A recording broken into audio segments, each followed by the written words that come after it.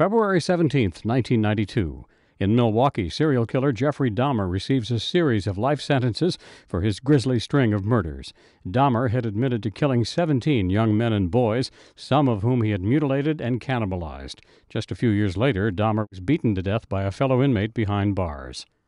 1801. In Washington, the House of Representatives breaks an electoral tie between Thomas Jefferson and Aaron Burr.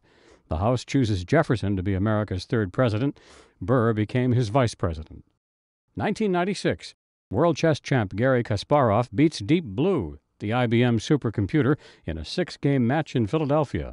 I knew that I could learn much better because my opponent would need more time to learn and to come back with a really uh, sophisticated counter strategy. The following year, Kasparov loses to Deep Blue in a rematch. 1963. I'm not afraid to take on a challenge. I'm not afraid to take a step. And if I fall, I fall. I pick myself up. I move on. Michael Jordan, one of pro basketball's greatest all time players, is born in Brooklyn, New York. And 1976. Take it easy. Take it easy.